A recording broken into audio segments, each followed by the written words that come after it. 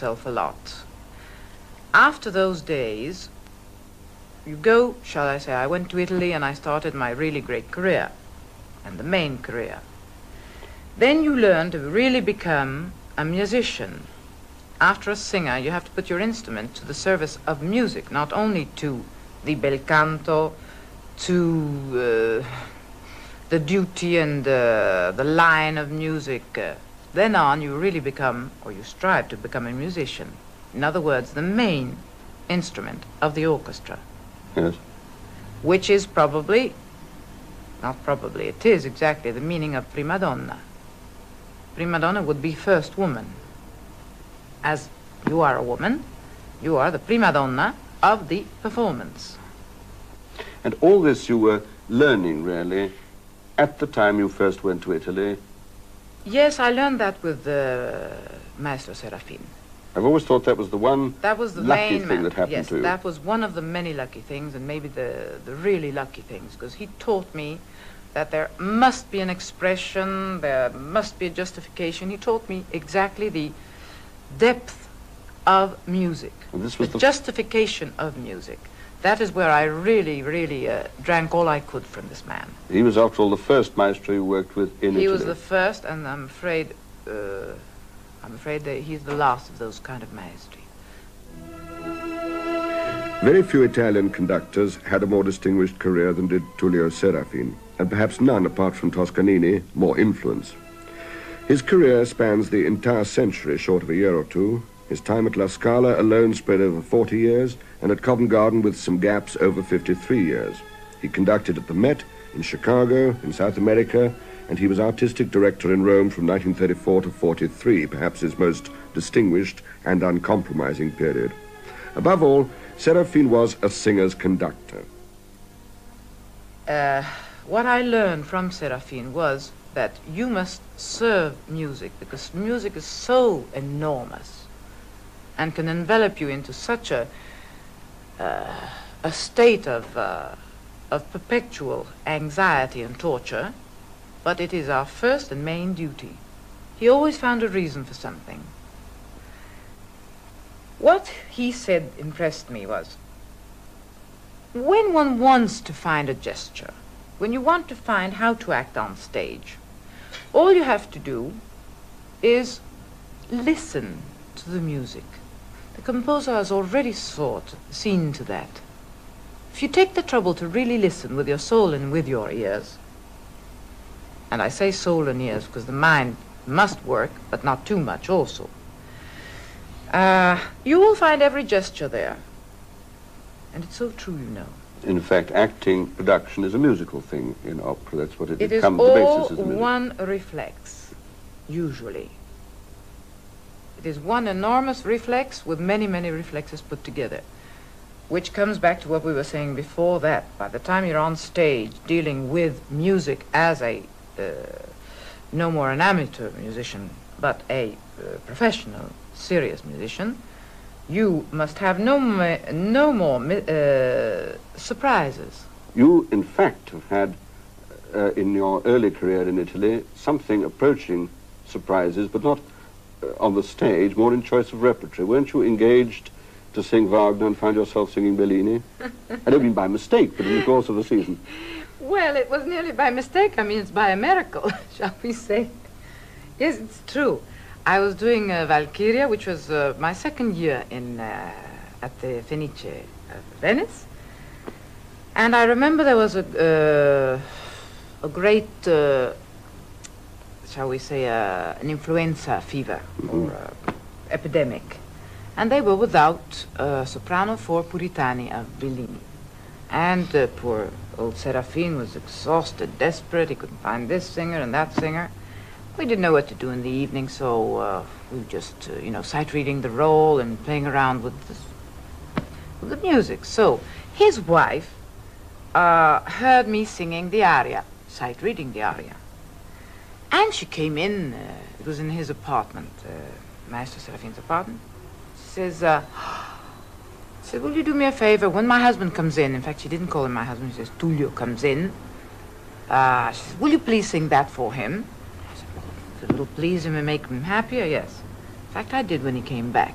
He never said a word. The next day, 10 o'clock in the morning, was after my already my first performance of Valkyria. I think the next day, or the evening, I think the same evening we had the, the second Valkyria. And uh, I was called on the telephone. Uh, please put your robe and come down, or come up, whatever it was. Master Serafin. I said, Master, I'm not washed up. It'll take me about half an hour. He said, no, no, no, come down the way you are. Of course, we wouldn't even say no to it. It was sort of a veneration for the Master then. And uh, I went down, and he said, sing. I said, what? Sing what you uh, sang to me yesterday. There was the director of the theater, Cattozzo then, and uh, I said, uh, anyway, I was forced to sing the aria, and uh, sight read, of course, which was the second time or third time I sight read it. I heard them talking, and he says uh, to me, well, look, Maria, you're going to do this role in a week. I said, I'm going to do what in a week? He says, you're going to sing Puritania in a week. I undertake that you study it. I said, I can't. I have three more Valkyrias. Can't do it. It's ridiculous that I sing Puritani. He says, I guarantee you that you can. So I thought to myself, well, if a man like Serafin, who is no child, knows his job, can guarantee me a thing like that, I will be no fool to say no. And I said, well, Maestro, my best I can do. More than my best, I cannot promise. If I manage to learn the part with my performances of Valkyria and the time Valkyria, not Sieglinde, Brunhilde. Brunhilde. I point out. And he says, all right, I guarantee you that, and you guarantee me that you try. That's good enough for me. So I said, well, inside of myself, if they're crazy enough to think that, then I, I was still young, and you know, being young, you have to uh, gamble.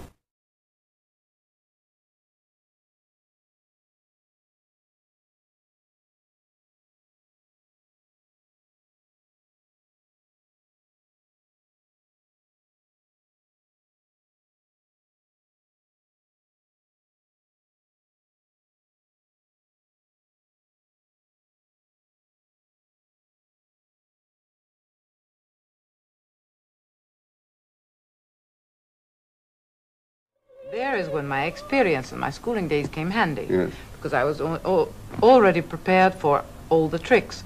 You could but have shocks, but not basic, surprises. No surprises, and no shocks even.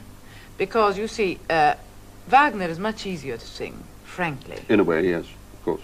In every way. Mm. When I used to sing Isolde and I used to sing uh, Brunhilde, there was no comparison with the Bellini roles or even the Donizetti. Because they're much less exposed mm -hmm. and much less difficult. But the basis is the schooling of bel canto, to sing whatever you sing. When you get a new role, a new part yes. suggested to you, will you sing, will you consider singing such and such an opera by exactly. so-and-so? What happens to you then? Well, then, the, uh, it's a very matter-of-fact. Uh, you really have to put your feet on your ground and be very matter-of-fact in the beginning. Uh, you look at the role as we know how to read and write, we know how to read our music. We're supposed to. so you read a role, and in the beginning you're enthused, you're exalted, and you say, well, I have a way of my own.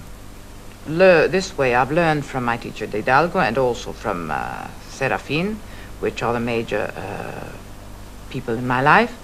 They have taught me, and life has taught me, that the last act is the most important.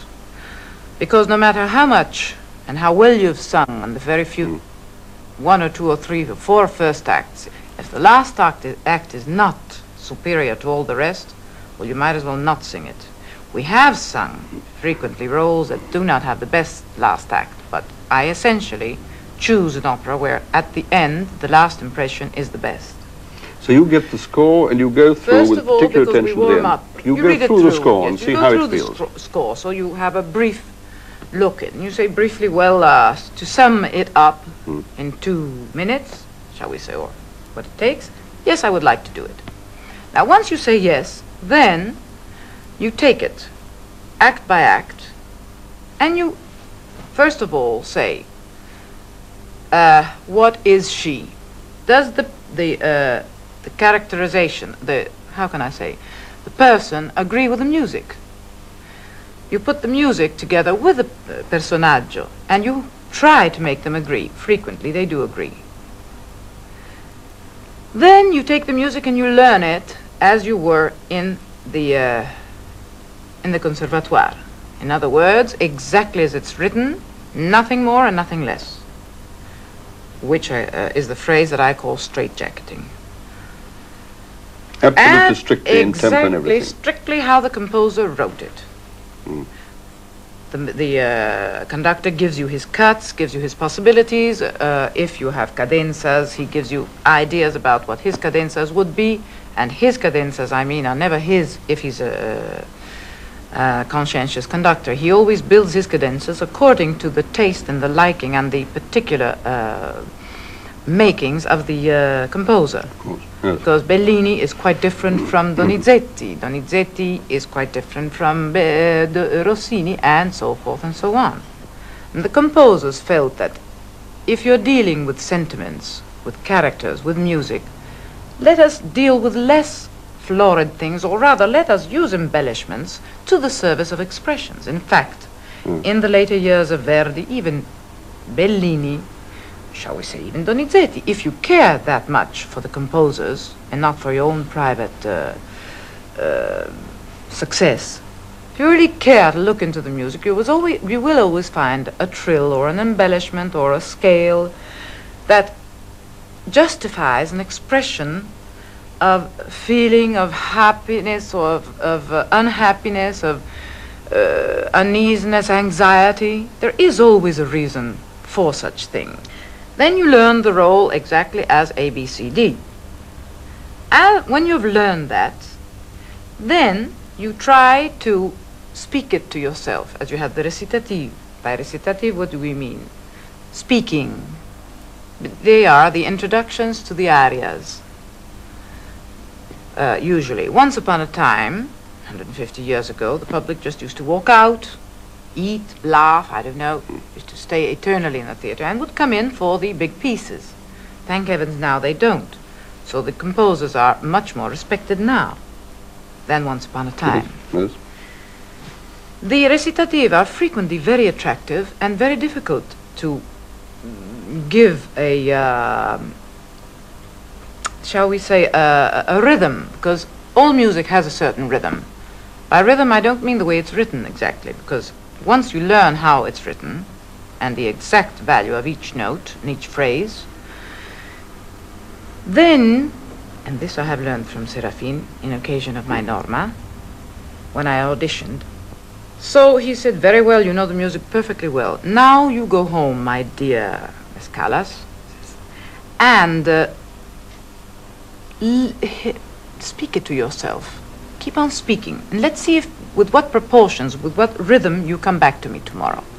Because if you speak it to yourself, how would you do it in music? Forget that you're singing and these are the values. Respect the values, but try to be free for a minute. If you spoke these phrases, how would you speak them? According to Bellini's style and this and that. And on that, you uh, cultivated yourself, which is so true. The recitative must have a certain flowing rhythm. What That's you give at a certain point, Yes. you take, you give back. You take here, you give back there. And the characterization of Italian music is always a flowing movement, no matter how slow things goes, no matter how slow a rhythm. So once you get that uh, in your mind, and it's not done in one day, it's not done in one week, and in fact, I don't think it's ever finished because a com- uh, uh, an interpreter grows each year. Exactly. You've matured it Your subconscious has matured it and has made it his own, so it helps you out. And it has uh, managed to uh, to mature the role, and uh, in, in other words, then, having broke this down, broken this down completely, then you can take wings. By taking wings, I mean from down to earth, two and two makes four, because everything must must uh, be logical in opera, because you can't persuade the public of uh, of a preposterous thing. Of course, what is the main thing that musicians should do is give it the most credibility possible, and to persuade the public. of its reality. There we come And back. to take them over. As I say, opera is uh, something that has been dead quite a while ago. So if we really don't try our very best to give it much seriousness and much uh, persuasiveness and dignity, uh, you know, it's, uh, it's not taken in with pleasure. When you're working on a new part, at what stage do you ask for collaboration? You obviously need a pianist fairly early on. Definitely, yes. A well pianist, same yes. time. A pianist that can be very, very, uh, shall we say, very particular in teaching you exact, uh, to remind you exactly the values of notes and not let one slip you. You learn the role, you uh, roughly re- learn it, as I say, because these goes in stages. You cannot expect to learn it immediately. You have to uh, give it time to be learned, to be matured, and then leave it, and then retake it, and then after that, it depends whether you have lots of time. If you have lots of time, it can take you uh, even months, but it can take me very little also. Depends. Then you need the uh, company. That usually happens after about two weeks' time, or yes. Then all uh, are called for a rehearsal, the first piano rehearsal. Then you start. I usually that's with the- with the maestro, with the conductor. Uh, yes, but with the, your other colleagues also. Yes. I used to, in my early years, I always did, in fact. I used to look at the posters and ask and uh, see when the, ma- uh, the when the maestro, the conductor, had his readings With the uh, orchestra. with the orchestra because I'm short-sighted and I cannot depend on cues given to me by the conductor himself or uh, the uh, Prompter. prompter. So also because uh, I live into the music, and I used to assist to his readings, which is most interesting. So therefore I, I went when I was quite prepared. Then we're all terrified because it's, you know, to put so many people together is really quite terrifying. That's when all the things that have stuck together start to fall apart. Well, uh, can do. can and do, Can do. frequently. And in old operas, like old, I say old operas, uh, mine like La Norma or Traviata, always, nearly always, and I can't say always, at certain points of the chorus, I know exactly where they're going to stop. I know exactly where they're going to repeat the same things for over and over again. One would say, all over the world. There are certain parts that stick, shall we say. Can't get rid of them. so, uh, finally, uh, you build the whole thing together. Stage orchestra colleagues orchestra um, chorus. And in the meantime you try on your costumes. You've already seen the designs uh, so uh, then eventually you reach uh, with a lot of quarreling between the conductor and the stage director. No this is my rehearsal. No this is my rehearsal well all right i can't stop all the time because we have to measure you know the space and breathing and this uh, rhythm of the thing, we also have to measure because still, up to this point, we have not sung the opera and performed the opera straight through. Because you have to do that more than uh, three or four times. Yes. Because you should measure your strength, uh, where you can rest, where you can uh, get away with uh, lots of things. You really have to uh, exactly know where you stand. When do you start actually singing with full voice? Because you don't do that all the way through, do you, in, in rehearsal? There is one thing that you must do, you really must, from the very first rehearsals, uh, orchestra rehearsals, absolutely must sing in full voice. For your own sake, for your colleagues' sake, and the main thing is to, uh, to uh, test your own possibilities. Yes. Finally, you, re- you reach the stage where you wear your costumes for the first time, the antiprova generale, that you really try to sing the whole thing, possibly with no interruptions, throughout. Wearing costumes for the first time then? Wearing costumes for the first time, which is disastrous uh, usually, normally. I had another method, though, that if they could prepare them for me sooner, I always wore them a bit before, and I asked if it were possible during certain rehearsals to get used to them, if it was a difficult costume to get used to. So at this stage again, which probably is about 18 to 20 days by now, you are at the, shall we say, five days before the performance. They give the anteprova generale and It's the first dress rehearsal. first dress rehearsal. Then you have your dress rehearsal, the full dress rehearsal. There's no stopping unless it's something terribly, just like a performance with the critics. So you sing throughout with no interruption as it was a performance. Then they give you normally not more, not less than two days, not more than three days before a performance. One day you are uh, frankly, uh, practically sick, you're so tired. The second day you rewind, and the third day you're ready to go. then, after the first performance, real good solid work starts because then you fill in the blank points. You have made a pract- uh, practically a, a rough uh, sketching because it can never be the real sketch unless you have had so much time. But there's nothing like stage performances that can fill in the little Stage performances in front of an audience. in front of an Yes. audience that you test yourself, your colleagues, the orchestra. It's uh, the the intangible things that uh, are so beautiful about music. You talked about studying, working on the individual character, the person that you're going to sing and represent on the stage. When you start work on that, when you actually tackle it, do you do it mostly from the score, from the notes, or from the libretto, or from uh, what Ah, approach to the character? The libretto uh, with the, for instance, let us uh, let us talk about Anna Bolena, Yes, which is something. Uh, Anne Boleyn, yes. Anne Boleyn is by Donizetti, as you well know, and history has his story of Anne Boleyn, his- which is quite different from the Doni- Donizetti Anne Boleyn.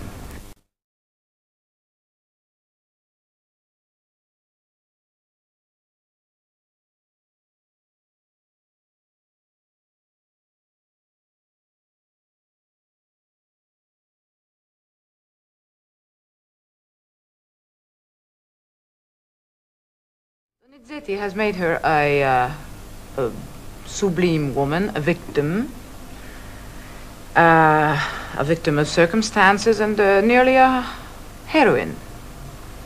Yes, it's a romantic so, view of history, uh, maybe. but exactly. So I couldn't bother with history after No. a while because it, it, it really completely uh, ruined my insight of it. So I had to really go by the music and by Bellini's, uh, uh, pardon, Donizetti's libretto. The music itself justifies it. So the main thing I believe is not the libretto, is mainly, though I give enormous attention to the words, I try to find truth in the music. Then you work the role as years go by, if you care to really work hard. So eventually, uh, with the years, you even can change hairdos, you can change costumes. My Traviata has changed frequently. My uh, Norma, more or less, not much. It has, but not that much, because uh, Norma doesn't stand that much. Medea has changed, definitely. Yes, A lot. Because I've seen her a very static figure, a very uh, barbaric creature that uh, knows what she wants from the beginning. And as I grew, I learned to know that uh, Medea, though she was uh, a very nasty character, after all, though, Giasone was even worse than she was. She was right in, And she was right. at least in her I mean, motives. in her motives. Yes, not in all so her I thought later on that if I created a softer hairdo and a softer appearance, that I might really create her as a more of a, a woman, a living woman.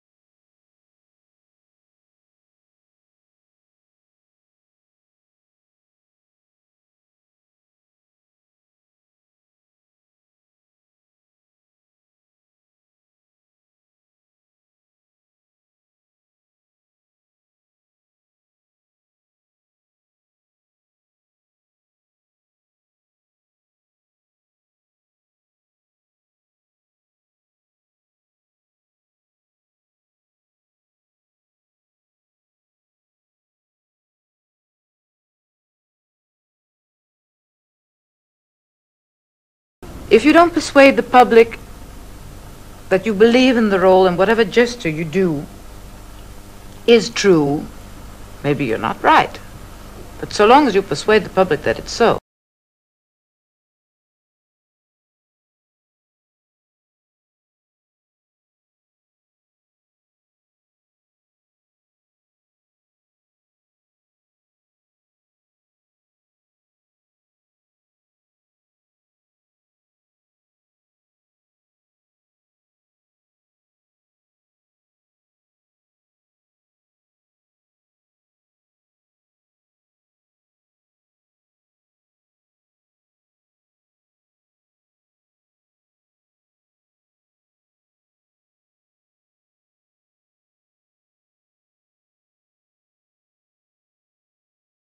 as the opera goes on, the less she moved, logically also her kind of sickness would not permit much movement also. So towards the third and fourth acts, the less she moved, the more the music gained and the more the uh, role gained. Also, the public, I can afford little movement. Certainly. And towards the last act, I had preferred also a uh, sort of a useless movement, uh, like a trying to fetch something, whatever it was, a useless gesture like trying to get the mirror or something on the dressing table and not being able to, and always just dropping the hand because uh, you couldn't quite manage it. Like the breathing should have been shorter, it should have been more.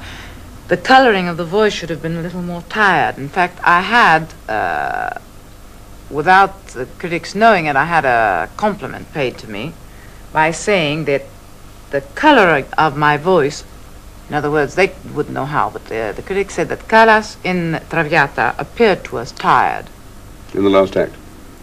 Generally. Generally, yes. Yes, and especially in the last act. This was a, a compliment for me because I struggled so hard to find this particular quiet, uh, rather little tired quality that I wanted, and took a long time to have it.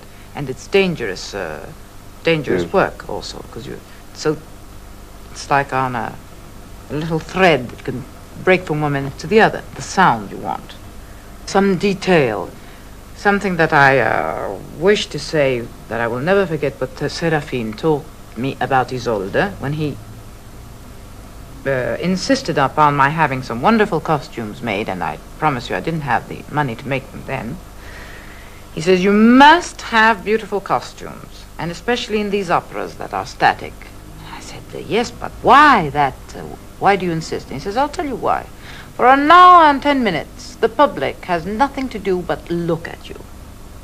If you don't really fascinate them with your voice, and no matter how much you fascinate them with your voice and your role, they still have all the time, which means an hour and ten minutes, to cut you to pieces. Take your costume and cut it to pieces. So if you don't really give it the best, you're in for disaster. So uh, at least the, uh, the vision of what uh, they get should be harmonious, should be nice, like the music that you give them.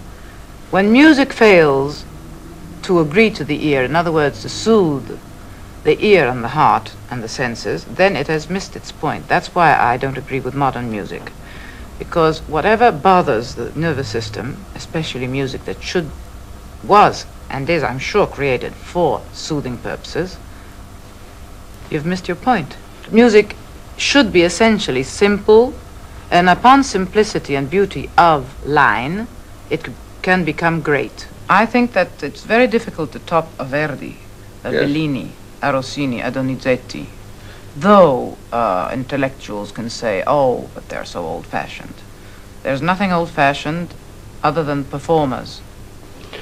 You've said before now that you thought of opera as being in some way a, a, a dead form. Did, were you really thinking of the whole operatic art, so to speak, or the operas written a hundred years and more ago, the sort of operas that you've mostly sung? Ah, I, I'm, I'm afraid it's true that I think it's dead in this sense that uh, you can't very well imagine today of today singing I love you and singing I hate you or whatever feeling. It can be spoken and it can be screamed, but it's out of style to sing it, frankly. Well, that's convention, of course. You isn't it? sing of happiness, but you just sing no words, probably. And that's what I mean uh, also because it was quite old-fashioned, I feel. And we haven't done much to modernize it also. Our attitude is quite old-fashioned, though we cannot modernize opera too much because as it is, we must accept it. It is old-fashioned. We must give it a bit of uh, fresh air, uh, cut certain uh, lengthy music, uh, repetitions, uh, try to bring our movements down to the least possible, the most credible uh, to the audience, to create an atmosphere that we can really take them over. Make it, make it as credible as we can. Well, I think I said before, and I repeat again, that the first duty of a, of a singer, of, of a musician, is to create what, or rather to try to feel what the composer wanted. I have two minds. One, the mind that creates, that uh, has to do what she's supposed to, or what it's supposed to, and then I try to detach myself to become the, audi- the audience, or somebody that looks upon this other person creating. The performer's mind and a and it happens all along, it goes along hand in hand. The person, the, the creator, shall we say, or rather the performer, because we are not creators, we are performers. We try to be faithful, and where we think that the composer may have failed, well, then we can give it a bit of fresh air, a bit of life, which is what I mean by uh, opera being dead. So we give it a breath of life, even if the composer maybe didn't uh, feel it then, because as life goes on, time has changed. Has changed. Mo- uh, life has become more modern. A hundred years ago, things Yeah, were even jokes were more easy. Today, people are more serious. You can't fool them that much. You t- talked about cutting out or cutting, doing without long Yes. stretches that were Oh, that we yes. thought were boring. Do you believe in that? I believe absolutely in that. I believe in repetition of a melody is usually never good. The sooner you come to the point, in other words, the better it is, if you have any point to come to. And you must always, in other words, you begin, uh, even a, sp- a phrase, when you speak, once you start, there will be, of course, a, a legato. Even in speaking, then the phrase will end, you will breathe. This is a continuous movement of breathing also and of, uh, of uh, singing. What do we do? We sing, we speak in on music form. This is opera. The first time is the only time, never risk a second time. So mainly music also must be uh, an instrument of theater.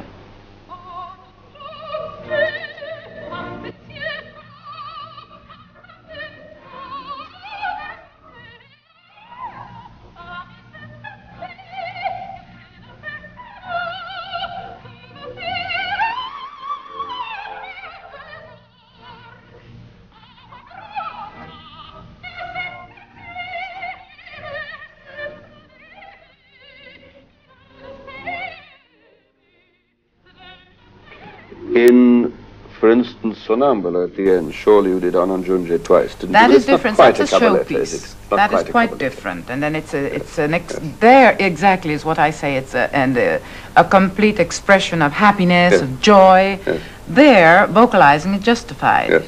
C- Because the whole piece is a little uh, naive, shall Yes. we say. Not all music is really delicious of every composer.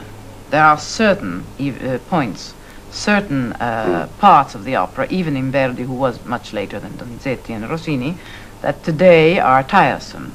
To You always have to be the performer in function of the composer that the public will listen to.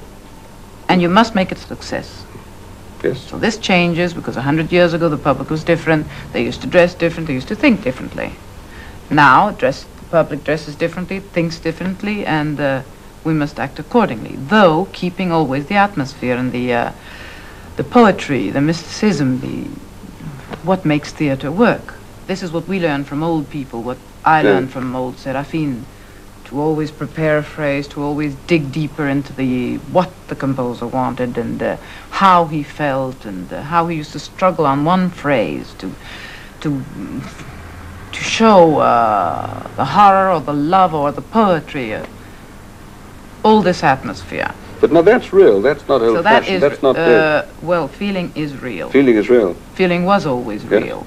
And I feel that deep feeling, honest feeling, is and always will be.